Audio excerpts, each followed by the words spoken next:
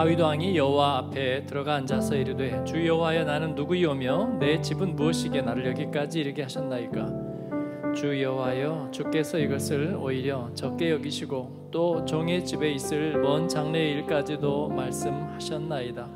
주 여호와여 이것이 사람의 법이니이다. 주 여호와는 주의 종을 아시오니 다윗이 다시 주께 무슨 말씀을 하오리이까? 주의 말씀으로 말미암아 주의 뜻대로 이 모든 큰 일을 행하사 주의 종에게 알게 하셨나이다. 같이 읽습니다. 그런즉 주 여호와여 주는 위대하시니 이는 우리 귀로 들은 대로는 주와 같은 이가 없고 주 외에는 신이 없음이니이다. 아멘. 네, 오늘 예, 사무엘하 7장 말씀은 음, 구약 성경의 제일 중요한 성경이고요. 또 어, 신약 성경과 아, 신약 성경의 예수님의 복음과 가장 맥이 맞닿아 있는 그런 성경이 사무엘하 7장이라고 볼 수 있습니다. 구약 성경에 다섯 가지 하나님과의 언약이 나오는데 네, 그 중에서 가장 중요한 언약 중에 하나는 다윗과 맺은 언약입니다. 어, 노아와 맺은 언약도 또 신의 산에서 맺은 언약도 중요하지만 그러나 다윗과 맺은 언약은 굉장히 중요합니다. 왜냐하면 이것은 어, 메시아 예수 그리스도의 조건이 되는 언약이기 때문입니다. 뿐만 아니라 아, 구약과 신약 사이에 예, 중요한 전환점을 나타내고 있는 것이 바로 이 언약의 내용입니다. 우리가 아까 찬양을 부르면서 어, 이사야서 43장에 있는 말씀 어, 내가 너를 지명하여 불렀나니 너는 내 것이라 어, 찬양을 할 때 우리 가슴이 뜨거워지는 이유는 예, 바로 이 하나님이 이 다윗의 언약 안에 두신 이 모멘텀 이 전환점을 담고 있기 때문입니다. 어, 우리가 복음을 공부하고 또 예, 제자 훈련을 받고 양육을 받을 때 가슴이 뜨거워지는 이유는 뭘까요? 예, 우리 안에 뭔가 이 파도가 방향이 바뀌는 예, 그런 힘이 우리 안에서 이제 생겨나기 때문에 가슴이 뜨거워지는 것이죠. 오늘 그 얘기를 여러분과 아, 나누려고 생각합니다. 아, 제목은 예, 하나님이 사람을 다루시는 방법이라고 표현했습니다. 예, 큰 주제인데 조금 예, 여러분이 피부에 와닿게 느낄 수 있도록 제목을 줄였습니다. 하나님이 다윗의 생애를 통해서 어, 이루어 가시는 그 방법은 성경의 사람들 그리고 우리 모든 인간에게 하나님이 해가시는 방법 을 예, 축소해 놓은 거라 그렇게 생각합니다. 이렇게 잘 닮아 있어요. 다윗의 많은 시편들 또 어, 다윗의 이야기들을 이렇게 읽어보면 예, 하나님께서 예, 우리를 이렇게 만져가고 빚어가시는 그런 방법이 나타나 있습니다. 지난 주일에는 제가 둘로 나누어서 어, 조건부 그 다음에 무조건적인 은혜 이렇게 두 개로 나눠서 얘기를 했는데 어, 다윗의 생애를 통해서 하나님이 빚어가시는 그 방법을 조금 더 어, 우리의 삶의 눈으로 어, 바라본다면 먼저 뭐라고 얘기할 수 있을까요? 하나님이 다윗을 만져가시는 방법은 무명의 목동으로부터 그를 어, 이유 없이 조건 없이 발탁해내시고 그러면서 그를 중앙 무대로 이끌어내지만 이제 자기가 원치 않은 또 자기가 해결할 수도 없는 예, 인연과 또 여러 가지 시련과 절망의 수렁으로 하나님께서는 이렇게 그를 인도해내시죠. 광야로 도피의 삶으로 현상 붙은 사나이 아, 그리고 인간관계에 수없는 실패들을 경험하고 배신, 좌절 다 경험하게 하시죠. 그러면서 그의 삶을 이렇게 쭉 읽고 가는데 목적이 뭐, 뭔것 같아요, 여러분? 생각할 때 왕이 되는 것입니까?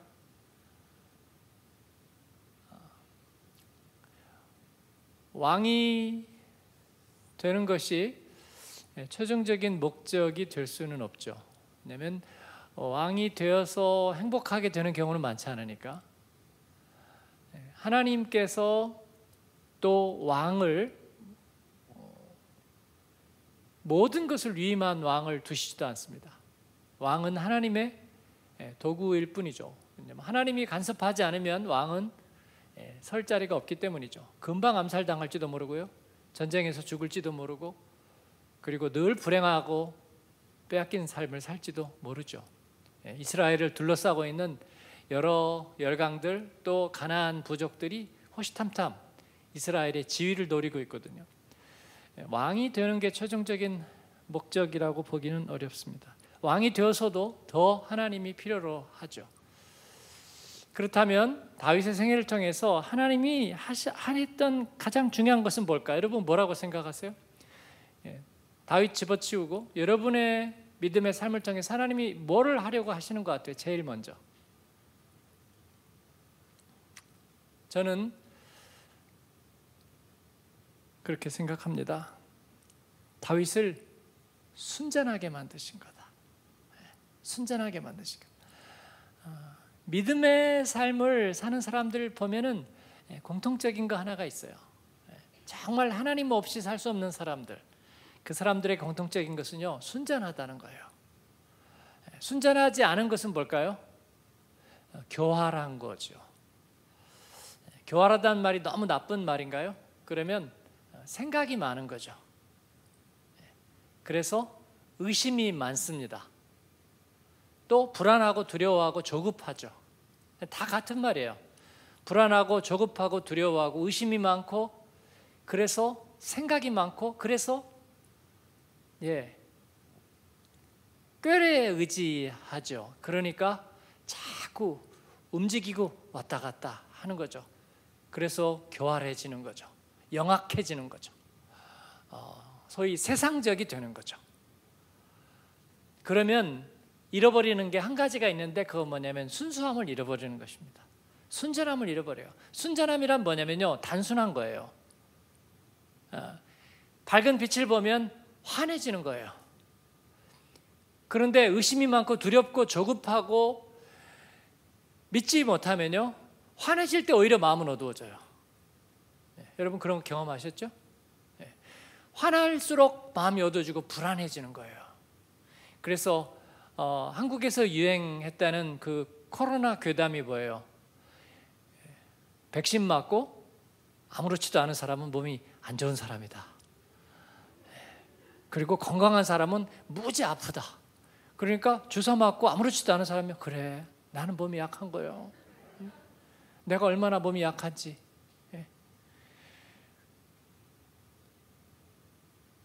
그럴 수 있는지 잘 모르겠어요. 그럼 아무렇지도 않은 모든 사람들은 다 지금 죽음에 이르는 병을 앓고 있나요? 그럴 리가 없잖아요. 이게 사람들의 심리를 대변하고 있는 거예요. 네, 뭔가 불안한 거예요. 뭔가 불안한 거예요. 마치 내가 건강하다 그것을 폭풍 속의 전야처럼 생각하고 있는 사람들이 많다는 거예요.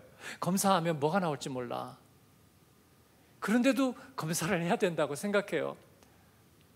그래가지고 무슨 청천벽력 같은 얘기를 듣게 되면 어떡하나. 우리 의사 집사님하고 얘기를 했는데 아, 건강 검진을 얼마나 자주 해야 되느냐.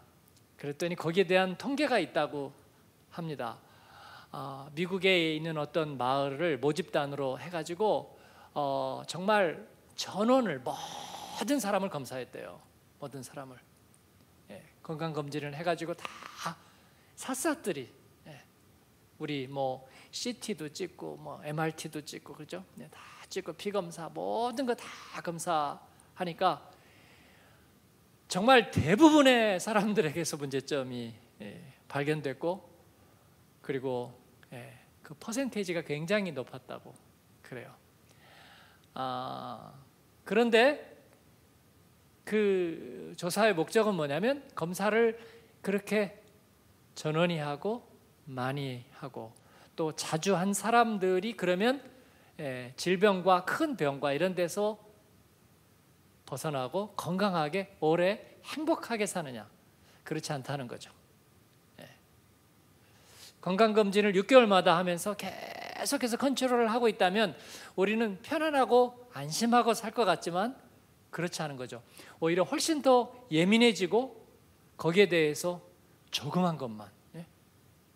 어, 뭐 잡히는 게 뭐지 이거? 여보 이거 이거 이거 잡히는 거 한번 잡아. 아 뭐긴 뭐야? 근육이 뭉친 거지. 그 아니야 아니야 이게 이게 어제 어제 없어 없었던 거야 이거 이거. 음? 그죠? 예. 여러분 남의 얘기 아니죠? 옛날 할아버지들 그런 얘기 했어요?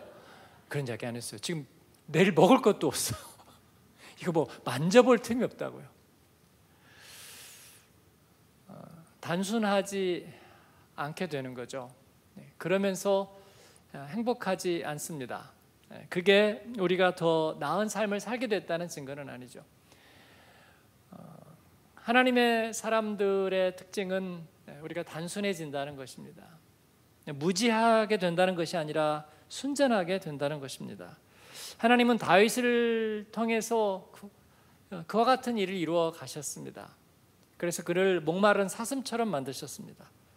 그리고 어, 눈은 잘 보이지 않고 귀는 밝은 양처럼 만드셨습니다.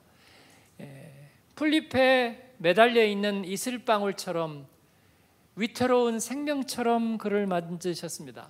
그래서 그를 의존적이게 하셨습니다.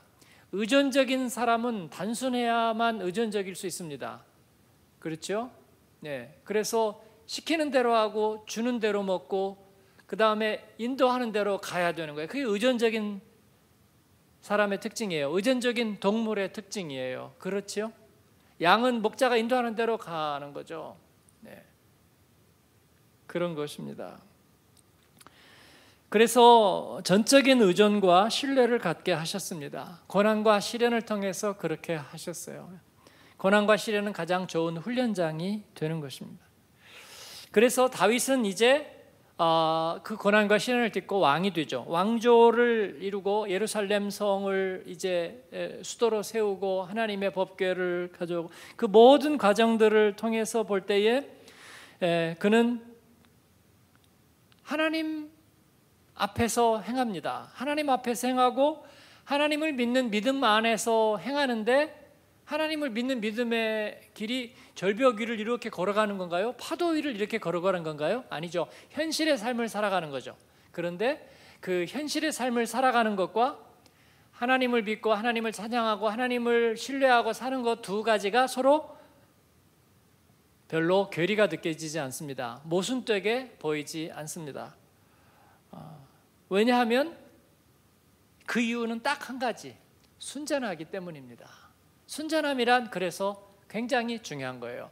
여러분이 식당에서 어, 밥을 먹을 때 이렇게 기도하는 모습이 두 가지로 볼 수 있어요. 어, 저거 저거 밥 먹을 때 기도하네. 저거 어, 저 가증스러운 거 저거. 예? 뭐 무슨 이유가 있어서 제가 지금 교회 다닌다는 걸 티내고 있는 걸까? 아니면 습관적일까? 쟤는 저거 제가 저거 믿음이 있는 애야? 예, 그렇게 보일 수도 있겠죠. 네, 그렇게도 보일 수도 있겠죠. 어, 그런가 하면 뭐 일할 때도 막 저봐 하고 뭐 뭐가 안 되면 막 어, 열도 내고 그러는데 저 친구가 식사를 하면서 기도를 순전하게 오래 기도를 하는 거가 어 왠지 어울려. 예? 옛날에 우리 교회에서 정말로 전도 그 회사 사람 다 전도하고 그러면서도 또 회사에선 일을 열심히 하고 소리란 소리는 또 다 지르고 그런 분이 계셨잖아요. 예. 그래서 뭐 반응은 두 가지였어요. 저분 떠나면 우리는 이제 교회 안 나간다. 예. 그러니까 어, 우리가 교회를 안 가는 거다. 저런 사람 때문에 그런 사람도 있었고요. 어떤 분은요, 하나님은 살아계시다. 저 성질의 저 성질의 저분이 새벽기도 안 하고 그렇지 않았다면 그렇게 할 수 없었을 거다. 하고 아 저분을 보니 하나님 살아계시다. 저는 두 번째 쪽에 비중을 실어요. 네, 오래된 분은 알 거예요 누군지. 결국은 그분이 어, 어, 다른 나라에 가가지고요 예, 사원들에게 소원 수레를 받았어요. 뭐 종교를 강요한다 막 그래가지고 그분은 막무가내예요. 예, 뭐 그 밑에 있는 뭐 그분이 전무니까 뭐 상무든 부장이든 상관없어요. 교회 나와야 돼. 가지고 뭐 예수님만 믿어봐가 아니라 그냥 교회 나와. 내 얼굴 보고 가. 그런 거예요. 안 그러면 불리익이 있을 거 아니들. 그, 그런 얘기는 제가 못 들었어요. 그런데 어쨌든 나오는 거야. 나오는 거예요. 네. 그래가지고 그 전에 슈발박 교회 그 로비에 있으면요. 이렇게 모여 있어요. 왜냐면 도장 찍고 가야 되니까 딱 모여 있으면 그 시사님이 이렇게 가시잖아요. 제가 가면 어 목사님이니까 인사드려. 그분들 다 인사해야 돼요. 인사해야 돼. 평소 새벽기도 때 예, 새벽기도인데 양복 쫙 입고 기름 쫙 바르고 나와요. 새벽기도 하자마자 바로 출근해서 이제 사원들을 못 살게 구는 거죠. 예. 근데 그 모습이 뭐 만약에 무신론자들이나 교회 적대적인 사람이 본다면 야 세상에 진짜 우스워 보일 수도 있죠. 어차피 네. 제 눈에는 멋있게 보여요. 네. 멋있게 보일 수 있다는. 근데 그 이유는 뭐냐면 에, 단순함과 순수 순전함이라고 저는 생각해요. 그러니까 내가 교회 다니고 이렇게 하는 게 남들에게 어떻게 보일까 늘 그렇게 하면서 옷을 갈아입지 않는다는 거예요. 음? 교회에서는 어떻게 하면 조금 더좀 어, 헌신적이면서도 좋은 모습으로 보일까? 밖에 나가면 내가 교회 다닌다는 게 저 사람에게 우습게 보이지 않고 해서 내가 어떤 처신을 해야 될까? 어떤 옷을 빵집에 가면 내가 어떤 모습을 해야 될까? 네, 그죠? 뭐, 딱지를 떼었을 때, 불이익을 당했을 때, 뭐가 기분이 나쁠 때는 또 내가 아, 어떤 모습은 감추고 또 어떤 모습은 드러내고 네. 그런 게 뭐냐면 교활한 거죠. 만약에 다윗이 그때 당시의 사회 속에서 바로 하나님과 함께 살아가는 그런 것들을 그때마다 이 모드를 바꿨다면요, 이건 정말 이건 아유 그냥 쓰레기통에 버려도 시원찮을 거예요. 그렇죠? 막 블레셋과 싸우다가 또 막 이 사람 저 사람 배신의 칼을 꼽는데 가서 배신자는 처단하고 또 그렇죠? 막 흥정하다가 또 이러다가 다윗은 이 모든 가운데서 예, 순전한 모습을 가지고 있습니다. 어, 성경에 또 다른 사람 있죠. 우리가 지난번에 예, 묵상했던 느헤미야 같은 사람입니다. 예, 느헤미야는 식민지 출신의 예, 페르시아에서 술 맡은 관원, 예, 왕의 그 술 기미 상궁하는 거죠. 그, 그만큼 신뢰를 받는 측근이고 또 거기에서 장관이었고 그러다가 식민지 총독으로 부임을 해서 가는데 그가 하나님을 잘 믿는 사람이 여러분 이게 조화가 잘 돼요? 잘 안 돼. 조화가 안 돼. 그런데 느헤미야에게서는 조화가 되는 거예요, 여러분. 느헤미야에게서는. 그러니까 여러분의 이미지와 여러분의 삶은 하나님께서 만들어 가시는 거지. 여러분이 안에서 모두를 갑자기 이 모드 저 모드 바꿔서 되는 게 아니라 그 말이죠. 할렐루야. 그러니까 얼굴은 하나님께 맡기세요. 그리고 하나님 앞에 순전하고 그리고 담대하고 당당하면 그게 자연스럽고 멋있게 보이는 거예요. 그래서 사람들이 볼 때 아, 멋있다 하게 되는 거예요. 여러분. 우리와 우리의 자녀들에게는요 쭈뼛거리고 두 문화 사이에서 머뭇머뭇 엘리야가 소리를 지르는 이스라엘 사람들 언제까지 너희가 하나님과 발 사이에서 머뭇머뭇 하려느냐 이놈들아? 네. 하나만 결정해라. 그렇게 얘기하는 거예요. 뭐 비 올 때는 하나님 편에 섰다 비 안 오면 바알 편에 섰다가 뭐 좀 때릴 것 같으면 바알 편에 섰다가 또 괜찮을 것 같으면 하나님 편에 섰다가 이놈들이 언제까지 그렇게 하려느냐? 엘리야가 디셉 사람 엘리야가 호통을 치는 것입니다 느헤미야는 자신의 신앙과 또 페르시아의 관리와 총독이라는 현실 그 두 사이에서 괴리를 느끼지 않았습니다. 오히려 자기의 안의 우선순위를 가지고 그냥 살아버렸어요. 그랬더니 그 안에서 멋지게 조화가 되는 거예요. 사면초가의 상황에서도 하나님의 뜻이 오히려 빛을 발휘하게 되는 거예요. 다윗은 그의 삶의 모든 과정에서 신앙적인 순수성과 현실적인 실용성 두 가지 모두 가질 수 있었습니다. 즉 예루살렘 성을 잘 세웠어요. 여부수 족 속에게 그 성을 얻어 가지고 수도를 세웠는데 아, 멋지게 세워진 거예요. 그걸 세상의 역사가들은 뭐라고? 아, 다윗은 야심이 많았다. 예? 그래서 이쪽도 아니고 저쪽도 아니고 중립적인 지역에 수도를 세우고 그것도 요새로 세우고 철옹성을 세우고 예, 그래서 오래 갈 수 있는 그런 왕조의 기반을 확립하고 하나님의 법궤를 가져옴으로 정통성을 확보하려고 하고 그리고 사람들의 마음을 하나로 모으려고 했고 그리고 성전을 지어서 종교적인 예, 신앙적인 그런 정신을 강화하고 자기의 왕권을 공고히 하려고 했다고 여러분 많이 듣던 얘기죠. 예, 역사가 세상에서 하는 이야기죠. 이게 뭐 무슨 얘기예요? 실리라는 거죠. 실리. 그런데 다윗의 얘기를 읽어보면 예, 모사들을 불러 모으고 지혜를 모아가지고 야 어떻게 하면 좋을까? 야 풍수지리 동원해. 예. 그리고 또 교회 가서는 감사한금 내고 아 믿음으로 합니다. 그런데 속으로는 안 그래. 막 부동산에게 예? 어디가 어디가 유리하겠어. 막 다 또 알아보고 이렇게 저렇게 했나요? 그러지 않았죠. 예. 바람 부는 대로 물결 치는 대로 하나님을 의뢰하고 하나님 앞에 엎드리면서 그냥 가는 거죠. 괴를 가져오려고 하다가 속아 넘어가면 안 가져오고 그죠? 그리고 잠시 또 석 달 동안 오베데돔의 집에 갔다가 그 다음에 또 가져와요. 왜 가져와요? 이제는 안전할 것 같으니까 이제는 그래야 돼. 아니요, 그냥 제 생각엔 그래요.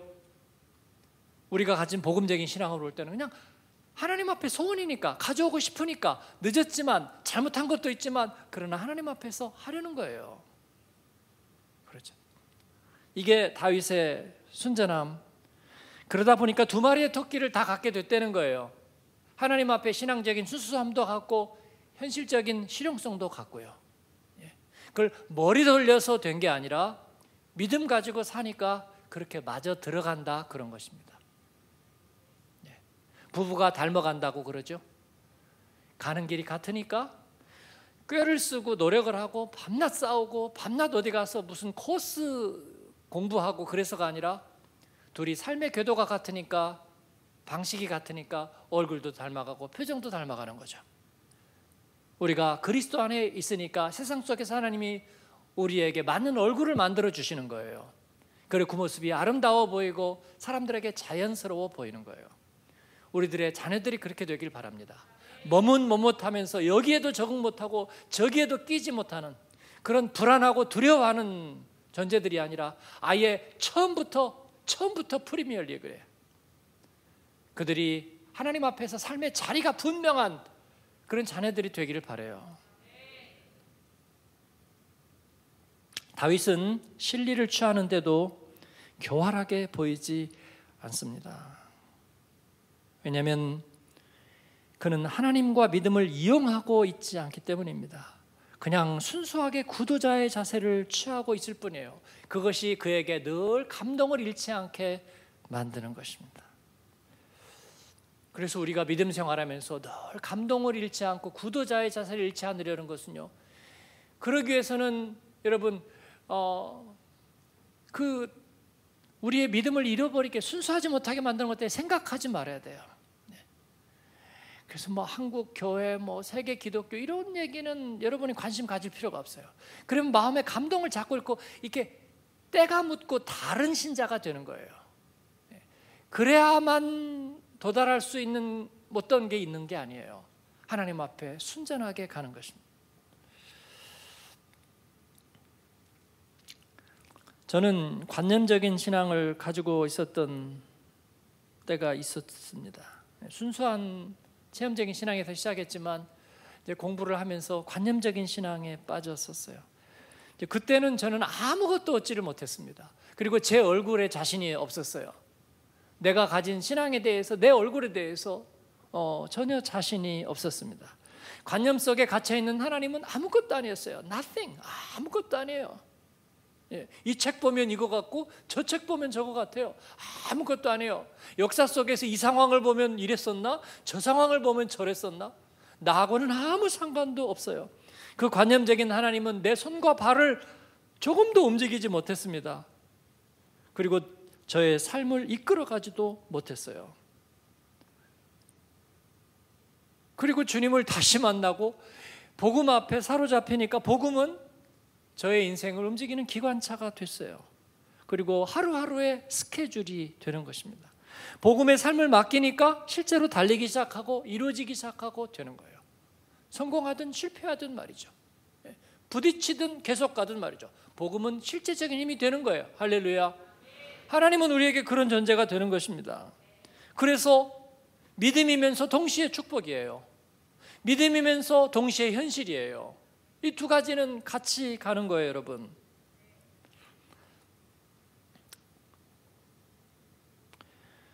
하나님을 믿음으로써 현실에서 뭔가 득을 보고 싶어 한다? 예. 관념적인 신앙을 가지고 있을 때는 늘 그런 갈등이 있는 거예요. 현실은 모순이고 고통일 뿐인 거예요. 그래서 하나님은 자기의 진실된 자녀에게 진짜 성도에게는 희생적인 사명만을 주신다. 풍성함을 허락하지 않으신다. 그건 세상적인 거다. 관념적인 신앙에서는 그렇게 생각하는 거예요. 그러다 보니까 관념적인 신앙을 갖고 있는 사람은 어때요? 생각은 무능하면서 생각은 많고 그러나 무능하면서 감정은 냉소적이고 그리고 감동은 없는 정말 상종하기 싫은 사람이 되는 거예요, 여러분. 네. 관념적인 신앙을 갖고 살 때 그런 것입니다. 예수님이 오셨을 때 그런 사람이 많이 있었습니다. 바리새인, 사두개인, 율법학자 그리고 뭐 학자도 아니고 사마리아 사람들 그냥 절망하고 냉소적이고 무감동으로 버려진 사람들 그들에게 순수함과 단순함은 찾을 수가 없었어요. 예. 영에서 시작해서 육으로 마친 사람들 몇 대째 기독교 집안으로 내려가면서 하나님과의 살아있는 관계 있지 않은 사람들이 다 그렇게 지금 타다남은 장작개비들이 되어가고 있어요. 우리가 그들을 다시 회복시켜야 되는 사명이 있는 줄로 믿습니다. 그래서 다윗은 너무나 큰 축복이에요. 다윗은 축복이에요. 다윗의 생애 속에서 하나님이 그를 만지셔서 늘 화라산처럼 이 마그마가 끓고 있게 만들어 하나님을 향해 늘 눈물이 터지고 무릎이 꿇혀지고 그리고 하나님의 뜻을 물으면서 삶을 언제라도 던질 준비가 되어 있는 그 인생은 행복한 거예요. 그래서 다윗은 행복한 자입니다. 하나님께서 그렇게 빚어가고 만들어 가시는 거예요. 저희가 여러분 보장이 확실히 없는 삶을 살아간다는 건 우리에게 그래서 영적으로 너무나 굉장히 큰 축복입니다. 그렇다고 우리가 못하는 게 있나요? 여러분, 여러분 뭐 먹는 게 있나요? 뭐가 있나요? 없죠. 뭐 인터넷 느리고 예, 병원 템이 빨리 안 돼서 못하는 거 있어요, 여러분? 그런 게 없어요. 한국에 가서 진료를 받으면 어, 빠르고 좋고 확실하다. 빠르다는 건 인정. 확실한지는 아직 검증이 안 됐어요. 왜냐하면 제가 작년 올해 그것 때문에 이런저런 상황 속에서 한국에 가서 다 검진하고 검진하고 그래서 뭐 한국은 진단이 빠르니까 아, 여기서 2, 3년간 기다리면서 모르던 거 아, 병원 가니까 바로 답이 왔어요. 근데 시간이 지나면서 정말 그렇게 됐어요? 네, 그러진 않은 것 같아요. 우리가 확실하지 않은 삶을 산다는 것은 우리를 불안하게 만드는 게 아니라 하나님을 더 가깝게 만드는 거예요. 다윗은 광야에 있으면 하나님과 가까워졌어요. 그러면서 그는 행복해지고, 그러면서 그는 순수해지고, 그러면서 하나님 의존적이 되는 거예요. 그런 하나님을 찬양합니다. 우리의 삶을 그렇게 인도해 주신 하나님을 찬양합니다.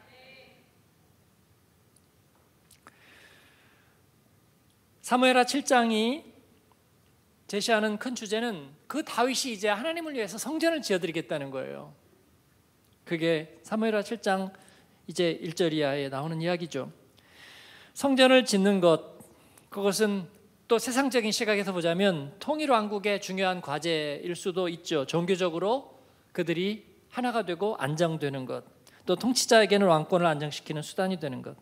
그러나 다윗은 하나님의 종입니다.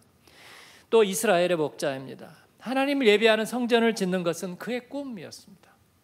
우리 교회가 성전을 지은 것은 뭐예요? 뭐 한국 교회가 자꾸 큰 성전만 지어대는 거기에 전염돼서 그랬습니까? 여러분 이거는 정말 허망한 이데올로기예요.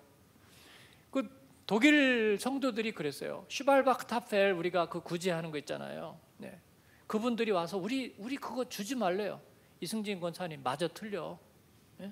네? 우리 돈 그거 1,500유로씩 예, 주고 그 통조림 주는 거 우리 주지 말고 그거 모아서 니네 교회 지라고 그랬어요. 그분들이 그랬어 안 그랬어요? 그랬다니까요. 우리는 아니야 성전이 뭐야 가난한 사람을 돕고 이웃을 돕는 게 더 중요하죠. 근데 그거 섬기는 분들이 와서 니네는 니네 교회를 져야 돼. 니네 지붕이 필요해. 우리에게 그렇게 얘기했어요. 우리 돈이 없는데 왜 돈이 없어? 아, 돈, 왜 돈이 없어는 아니죠.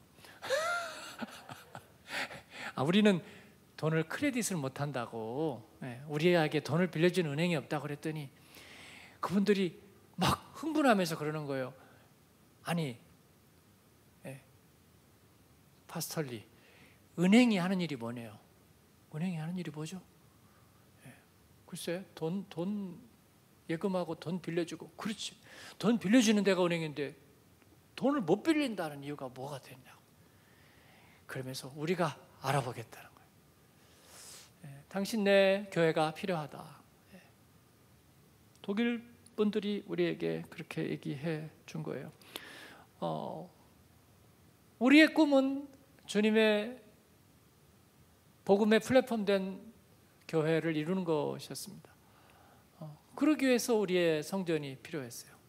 우리의 성전이 필요하고 또 우리가 그 사역을 감당할 수 있는 열방을 위한 성전이 필요한 거고 그게 우리의 꿈이잖아요. 그게 우리의 이념이에요. 이데올로기예요. 그걸 통해서 뭔가 우리가 뭔가 다른 다른 생각이 있는 거예요? 아니요. 그런 거 하나도 없어요. 이동원 목사님도 오셔 가지고 우리 교회를 이제 뭐 사든지 짓든지 어떻게 하든지 우리가 그때는 이렇게까지 욕심이 없었잖아요. 어쨌든 우리 교회가 하나 있어야 되겠습니다. 목사님이 기도해 주시고 말했더니 아 요새 한국에 교회 이렇게 짓고 이런 거 여론도 안 좋고 그러니까 그러지 말라는 거예요. 그냥 하나 빌려 하나 더 빌려 가지고 이렇게 인터넷으로 연결하고 그게 더 복잡하네.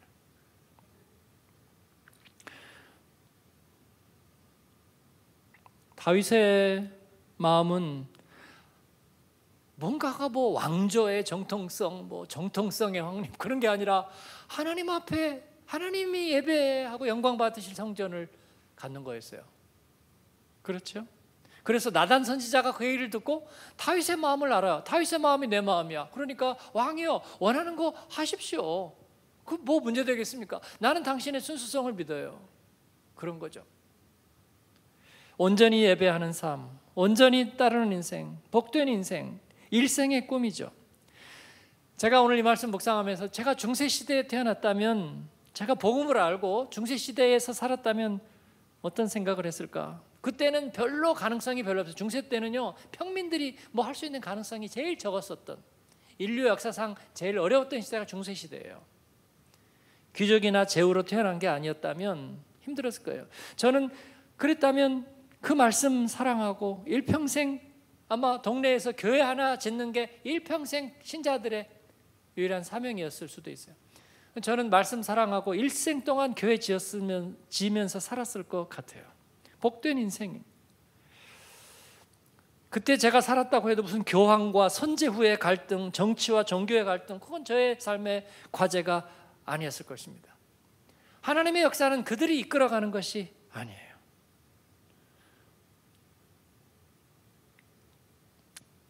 성전은 하나님을 향한 순수한 갈망이었습니다. 물론 성전은 인간이 자기 욕구를 실현하기 위한 도구가 될 수도 있습니다. 교회 와서 하나님 저에게 이거 잘 되게 해주세요, 잘 되게 잘 되게 해주세요. 예, 그런 목적으로만 인간이 성전을 이용하려 할 수도 있지만 여러분 그러나 인간이 어떻게 하나님을 이용할 수 있어요? 어? 지들이 어떻게 하나님을 이용할 수 있어요? 하, 여러분 하나님 이용해 보셨어요? 이용이 되던가요 하나님이? 안 되죠.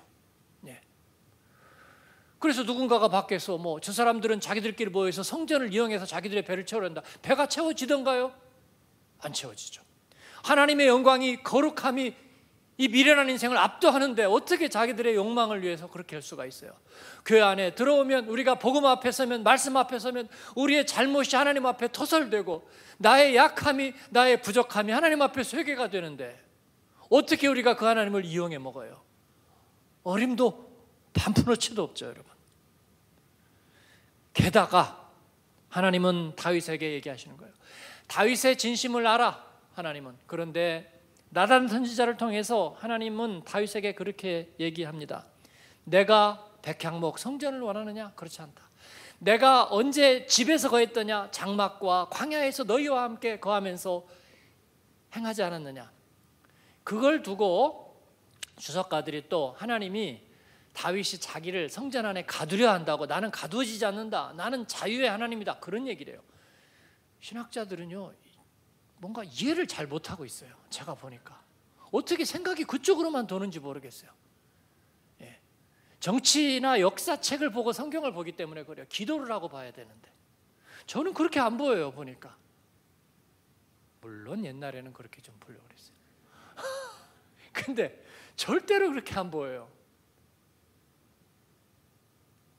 여러분은 사랑하는 아이가 자식이 뭐 밥을 해주고 뭐 이렇게 하면 아 이놈이 뭔가 야심이 있구나 그래요?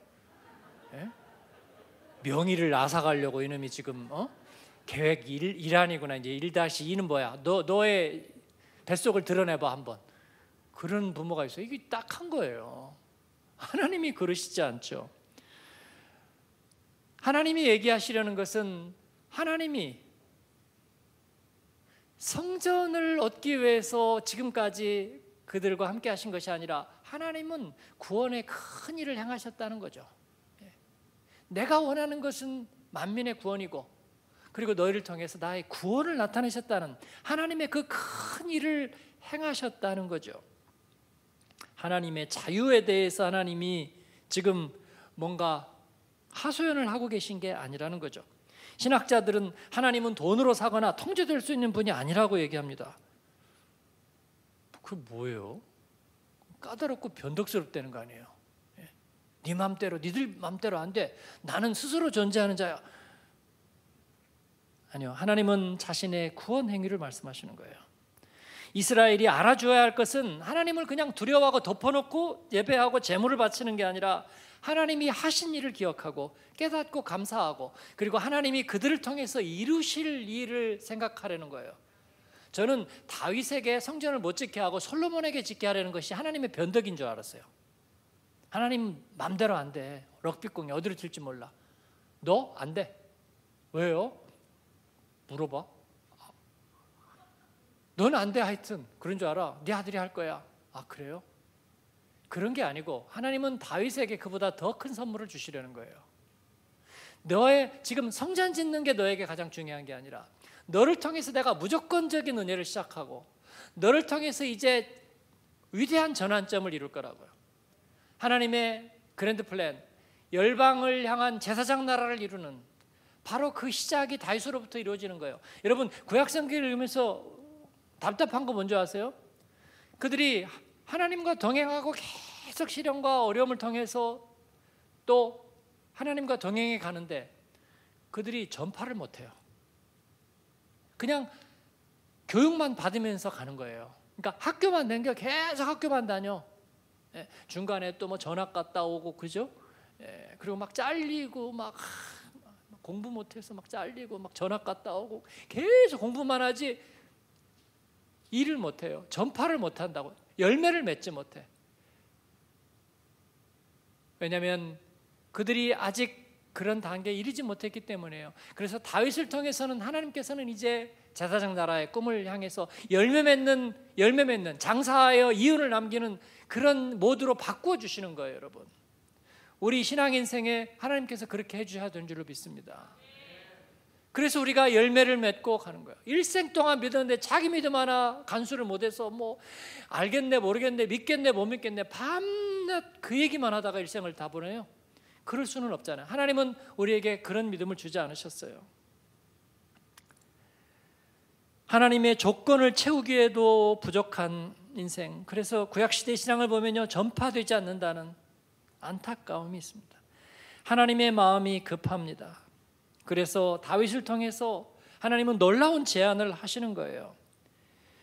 성전 짓지 못하게 한 것은 다윗이 자기 만족에 빠질까 하나님 편에서 높아심을 가져서가 아니라 이제 열방과 만민의 제사장 나라를 세우시고 그 구원이 전파되기 위한 하나님께서는 그러한 선언을 하시려는 거죠. 그게 더 중요하다. 이것이 중요하건만 너 무엇을 주느냐? 성전은 네 아들 때에 세워도 충분하다. 나는 이 구원의 일을 너를 통해서 이루어 가겠다. 그렇게 말씀하시는 거예요. 이제는 이스라엘의 순종에 따라 하나님의 계획이 좌우되는 것이 아니라 하나님의 무조건적인 의지가 이 모든 것들을 이루어 가시겠다. 하나님께서는 그렇게 선언을 하시는 것입니다. 이건 뭔 줄 아세요? 이제 다윗과는 하나님이 간보지 않겠다는 거예요. 이게 줄로 재 가지고 맞느냐 안 맞느냐 그거 따지지 않고 이제는 맞았어. 그냥 무조건 제 같이 가는 거예요. 그럼 무슨 말이냐면 우리가 풀면 하늘에서도 풀고 우리가 맺으면 하늘에서도 맺히고 베드로에게 주셨던 것 같은 천국의 열쇠를 주신 거예요. 제가 축복 대박 축복 대망 대박이 한 대망 축복 대망 얘기를 한 것은요 이, 이 자신감에 근거한 것입니다. 하나님이 우리에게 백지수표를 주신 거잖아요. 우리는 복음의 은혜 안에 있잖아요. 네. 제가 그래서 사람들이 목사님은 독일이 편하겠네요. 독일이 편해요, 제가? 그럼 어디는 불편해요? 한국이 불편해요? 독일이 편해요? 아침에 빵이 좋아요? 밥, 국이 좋아요? 빵, 빵이요? 국이요? 아, 모르겠어요, 저는요. 아직 모르겠어요. 여러분은 뭐가 편해요? 주로 빵을 먹죠. 근데 날마다 국을 안 주니까 빵을 먹는 거지. 그렇잖아요. 아니 누가 아니 제 아내가 안 준다는 게 아니라 누가 날마다 국을 누가 줘봐요. 그럼 날마다 국 먹지. 우리는 국 먹고 살아왔잖아요. 근데 독일에서 누가 날마다 국을 주냐고요. 어디서? 그럼 빵 먹어야죠. 아침에 아, 집 앞에 빵집 있고 옆집에 빵집 있는데 업그레이드 간다면 업그레이드라도 해야 될 거 아니에요. 그러니까 빵을 먹는 거지. 뭐 독일이 좋아서 빵을 먹어요? 독일에 사니까 빵을 먹고 한국에 가면 아, 그리워서 그리워서 그리워서 그래서 국을 먹어요. 아니 한국 가니까 국 먹는 거지. 아침에 누가 날마다 빵 줘요 한국에 가서. 식당에 호텔에 가도요 빵은 저 구석에 있어요. 뭐 어? continental breakfast. 근데 한국 가니까 또 continental breakfast 잘 보여지지도 않아 막. 독일 아줌마도요 막 샐러드인 줄 알고 김치를 이만큼 갖다 놓고 김치만 먼저 먹어요. 이만큼을 김치를 한 통을 먹고 계시더라고요. 그러니까 샐러드를 미리 먹잖아요, 이 사람들은. 그리고 샐러드 다 먹고 그다음 먹으니까 김치를 갖다 놓고 다 먹더라고. 내가 막 으. 네. 근데 한국 가니까 또 그게 되나 봐, 그분들도. 그렇잖아요. 근데 어디가 편하냐고요? 저는 모르겠어요. 우리가 하나님 사랑하고 하나님 예배하고 하나님 주신 삶의 자리가 여기 있으니까 여기 있는 거죠. 차드 가니까 아, 거기는 못 살겠다 그런 생각이 들어요. 근데 하나님이 살려면 사는 거지 뭐. 못 살 것도 뭐 있어요. 아 그냥 온도가 뭐 아, 대충 한 40도 50도 올라갈 뿐이지 뭐. 그렇죠. 말라리아 먹이가 좀 많다 뿐이지. 그리고 음식을 손으로 먹을 뿐이지. 예, 빵에는 모래가 대부분 들어 있을 뿐이지. 그래도 예, 양승원 선교사님이라고 거기 사는데 계속 살아요. 계속 살아. 신사 같은 분인데 계속 저도 못 살 거 뭐 있어요. 예. 뭐 조금 수명이 줄을지는 모르죠. 그런데 못 살 거 뭐 있냐고요. 하나님 인도하시면 여기든 저기든 살 수 있잖아요. 독일이 편해요, 한국이 편해요. 잘 모르겠어요. 하나님이 함께 하시는 거죠, 여러분. 우리는 그런 거 저울질하지 않죠. 그런 거 저울질하다 인생을 다 보내요? 아닙니다. 다윗은 그 하나님의 인도하심 앞에 오늘 말씀을 보니까 하나님의 그런 무조건적인 은혜 이제는 너하고 나하고 무조건 같이 가는 거야 그러니까 네가 뿌리면 내가 거두고 네가 거두면 내가 뿌리는 거야 라고 말씀하시는 거예요 그러니까 선포하고 나가라 그런 거죠 그래서 우리가 선포하고 가는 거예요 네. 물론 모든 걸 다 선포할 수는 없어요 왜냐하면 우리는 미비하고 부족하니까 그러나 하나님이 주신 소원이라 생각하면 선포하고 선포하고 가는 거죠. 디아스포라 선포하고 선포하고 가는 거예요. 우리가 하나님 앞에 선포 세상의 모든 가난한 사람, 억울한 사람, 모든 불의한 사람 다 해결하고 아니요. 우리는 그런 거는 몰라요. 그러나 하나님이 우리에게 주신 소원이 뭔지 알아요. 하나님이 우리에게 주신 소원, 열방의 빛이 되는 것, 디아스포라의 등대가 되는 것, 다음 세대를 세워 하나님의 역사 구속사를 이루어가는 것.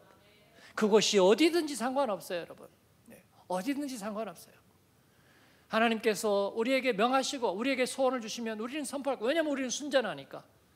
왜냐하면 우리는 하나님 의존적이니까. 우리는 하나님 없이 살 수 없으니까. 갈수록 더 하나님께 매여 사니까. 예. 은혜의 약속을 입은 사람은 그래서 하나님과 하나입니다. 하나님은 오늘 말씀에서 이제 너와 내가 하나라고 말씀하고 있습니다. 너와 내가 하나라 하는 거예요. 예. 내가 너를 위대한 이름을 주고 그리고 너에게 한 것을 정해서 그것을 떠나지 않게 하고 거기에 편안하게 쉬게 하리라 말씀해 주셨어요. 그래서 다윗은 그로 인해서 하나님 앞에 감사하고 찬양하게 되는 거예요. 오늘 말씀은 그래서 다윗의 감사와 찬양입니다.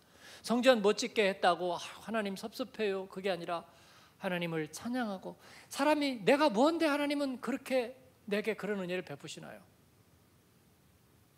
그렇습니다. 하나님은 이제 영원히 하나입니다.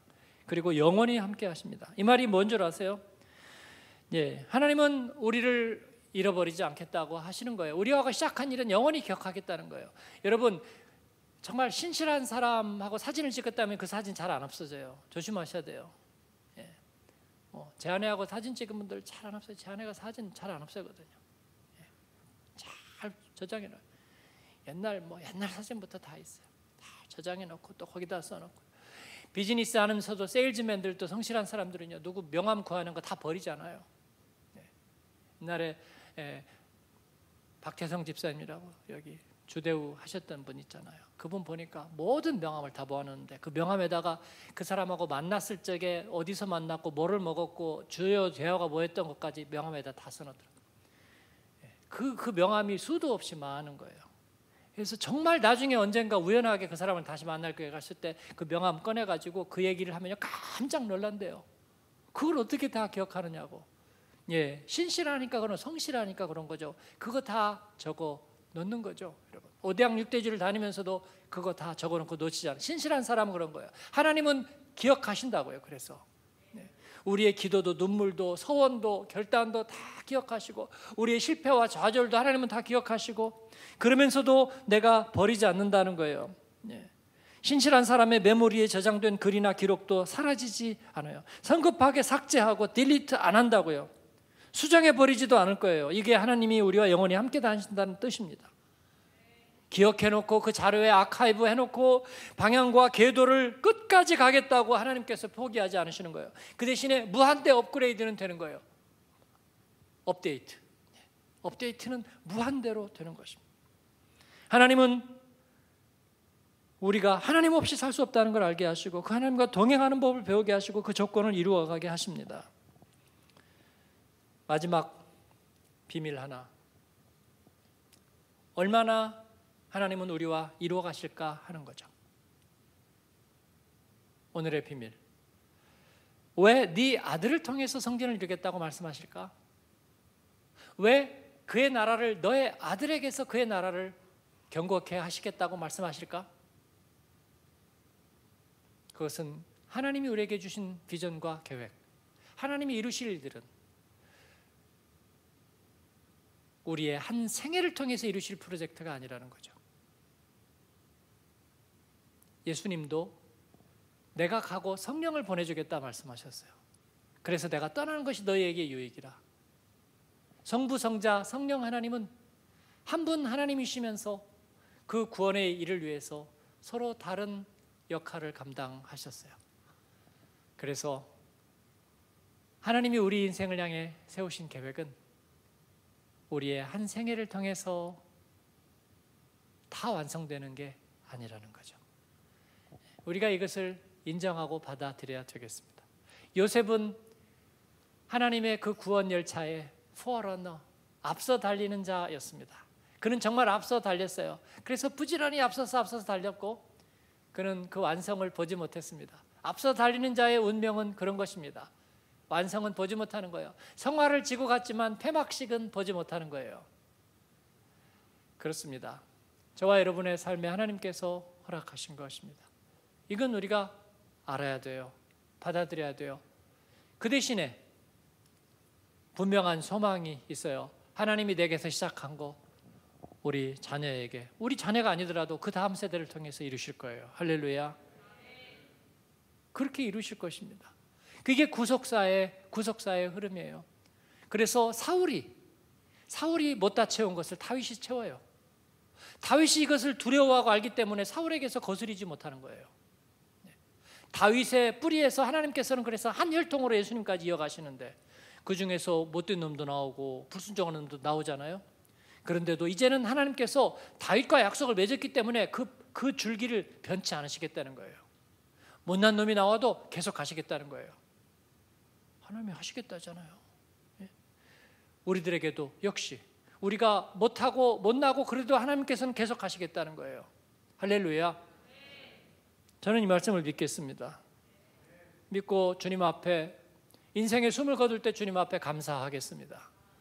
하나님이 약속을 이루시고 이 약속이 계속 흐르게 하시는 하나님을 찬양합니다.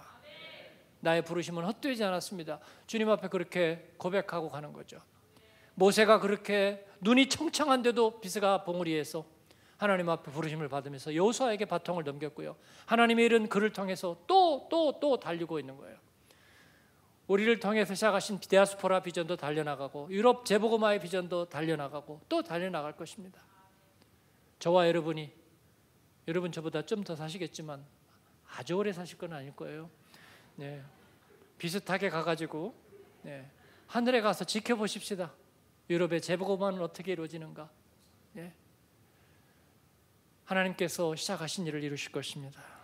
결코 부인하고 포기하지 않는 우리에게 우리가 그 방향으로 간다면 주님께서 이루시리라. 하나님을 찬양합니다. 할렐루야.